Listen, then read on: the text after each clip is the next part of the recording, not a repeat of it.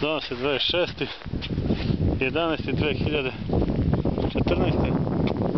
Evo, u ovom lošem vremenu. Ovo je drugi po redu. Ide odakle je došao.